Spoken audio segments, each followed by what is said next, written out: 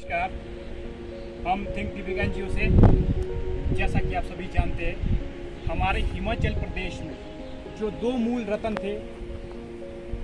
हिमाचल की शान राजा वीरभद्र सिंह जी, जो एक विकास पुरुष बोले चाहिए गरीबों के मसीहा बोले, और हमारे जुब्बल नावर कोट खाई की शान आदरणीय स्वर्गीय नरेंद्र बरागटा जी